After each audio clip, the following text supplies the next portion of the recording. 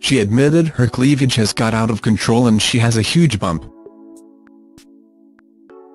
But Casey Batchelor embraced every inch of her maternal curves when she lapped up the sizzling rays of sunshine in Tenerife, Spain on Monday. The pregnant star, 33, supported her back when she displayed her growing stomach in a skimpy neon orange two-piece that barely covered her assets. Scroll down for video Casey's bikini top flattered her pregnancy curves as it added a frilled embellishment to frame her blossoming baby bump. The yoga guru was in a complete state of bliss as she ran her fingers through her long dark tresses which cascaded down her shoulders and choppy curls. No doubt the bonded by blood two-star was making sure she was relaxed ahead of giving birth later this year as she dipped her feet in the cooling waters. Reality star Casey has been cataloguing her pregnancy journey with a series of pictures displaying her maternity curves on her. Keen to keep up her yoga, the flexible brunette has continued the exercise regime and posed up a storm for her 271,000 social media fans.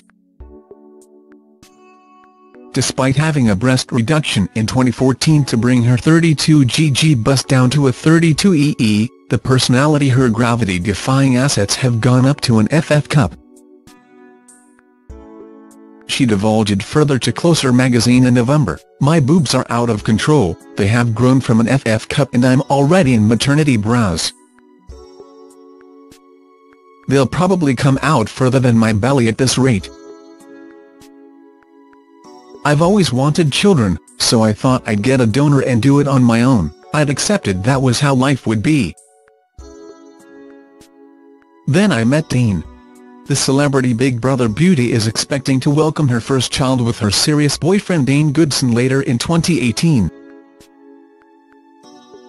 Their love story goes way back to 2016 but the pair decided to keep their romance under wraps until she announced her exciting news about the baby in October 2017.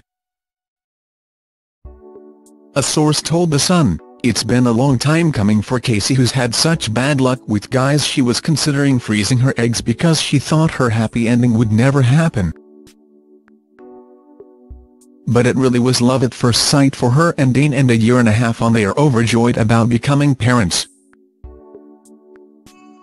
She really believes she's finally found her prince and loves he's someone completely separate from the industry.